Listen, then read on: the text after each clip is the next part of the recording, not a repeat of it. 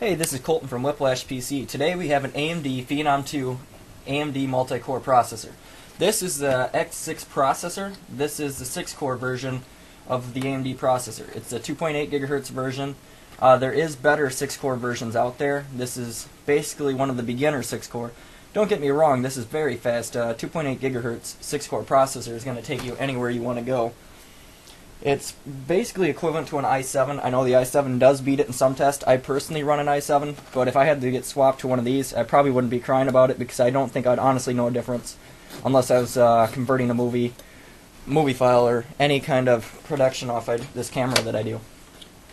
Alright, so we're going to go ahead and open it. It's a pretty basic box. I'm surprised at actually how small the box is. AMD does a really good job at packing. There it is, the beautiful processor. And it comes with a sticker, an AMD Phenom sticker, that is. The processor itself is about the same size as all the other ones. It's got a bunch of pins, so we'll take that off and see if we can get that on there. I believe, gosh, what is this pin set? I'm not even going to try to go off and say it, but I'm pretty sure it's up around 900 pins. I'm going to try to get that up there. That's quite a bit of pins. I'll go ahead and put him back in the box and see what else we got for the cooler wise. I know some AMD coolers are better than others, but I'm kind of interested to see how hot these things get. You can always kind of tell how hot the processor gets by looking at the heatsink they include with it. So we're going to go ahead and open this box where the processor lays, or the fan lays.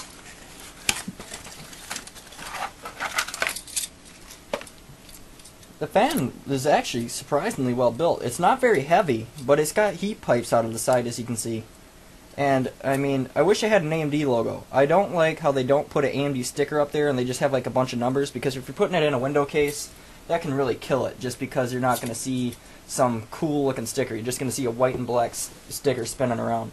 I wish they would have put an AMD sticker on there personally. That that'd be my advice for them to do on their next fan. But um, the heat pipes and actual heatsink itself is very solid. I'm actually very surprised. I mean, that thing is actually very well built.